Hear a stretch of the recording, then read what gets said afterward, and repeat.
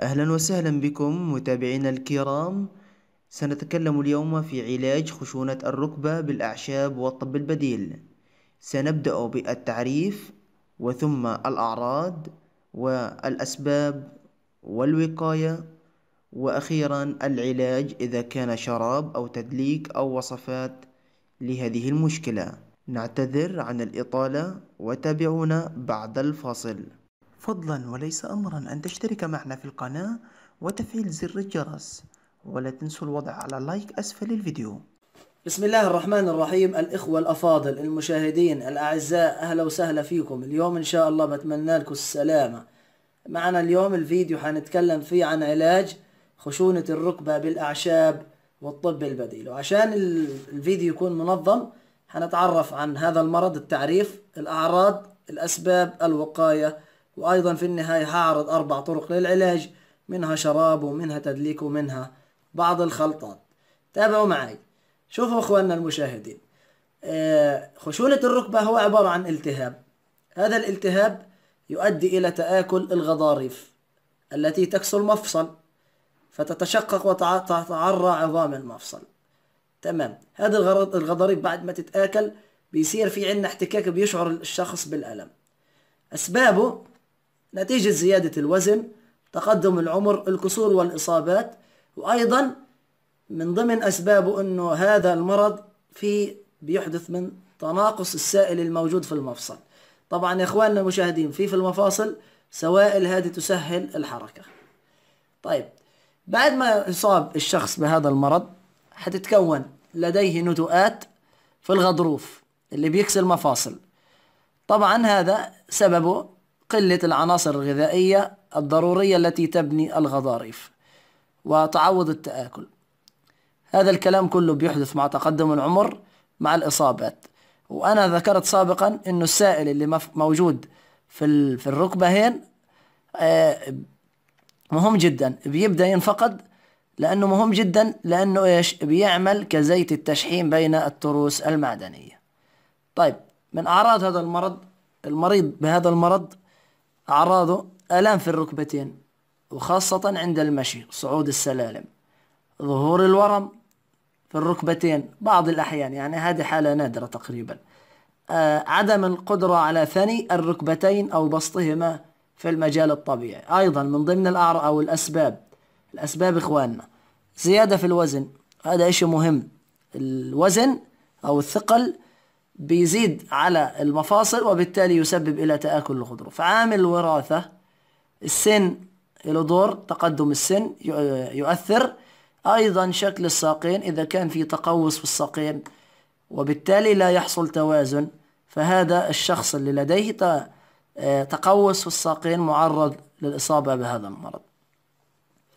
الجنس السيدات أو النساء أكثر عرضة آه، من هذا لهذا المرض من الرجال يعني كون العمل في المنزل. طيب التعب والإرهاق وصعود السلالم أيضا الكسور بعض اللاعبين إصابات بالأربطة وإصابات بال بالركبة أو ما شابه هذه تؤثر. بعض الأمراض الروماتيزيوم والروماتيد والنقرس وهشاشة العظام. إلها كلها هذه إلها دور. طيب الآن الوقاية تخفيف الوزن وتجنب السمنة. الابتعاد عن الأعمال المجهدة ممارسة الرياضة بشكل منتظم وبالتحديد المشي لأنه المشي بيمنع تيبس المفاصل. أيضا هبدأ الآن وأعرض على حضراتكم طرق العلاج.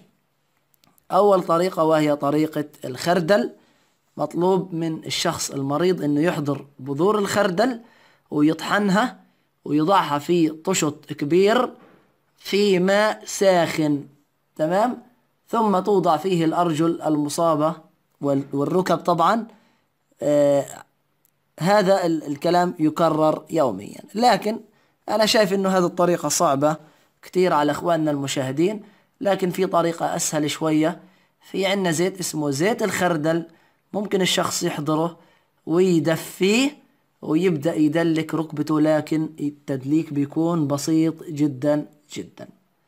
طيب طريقة تانية لكن يمكن صعبة شوية لأنه حنستخدم فيها الشطة. فتخلط الشطة في زيت الزيتون ويدهن بها المفاصل المصابة. يعني الشطة اللي طبعا الشطة المطحونة تمام البودرة. تخلطها في زيت الزيتون وبتبدأ عملية الدهن بحركات خفيفة. طيب. طريقة ثالثة الزنجبيل. مشروب الزنجبيل يساعد في علاج الخشونة ممكن الشخص يعمل المشروب. ممكن أنا بقترح عليكم اقتراح تاني إنه الشخص بشكل يومي يشرب الحليب الحليب الطازج ويضع عليه من الفوق من فوق يعني بودرة الزنجبيل. تمام. وبالتالي يتناول الزنجبيل بطريقة يعني مناسبة له. في طريقة أخرى أيضا في زيت الزنجبيل.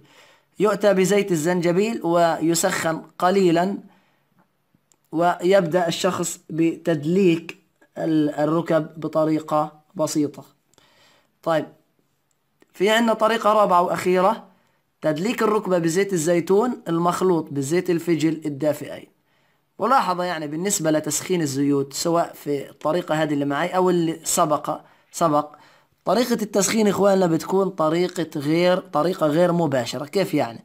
على أساس أن الزيوت هذه تحتفظ بفوائدها يؤتى بإناء ويوضع به ماء ويؤتى بإناء آخر ويوضع به الزيوت. يعني طريقة التسخين طريقة غير مباشرة.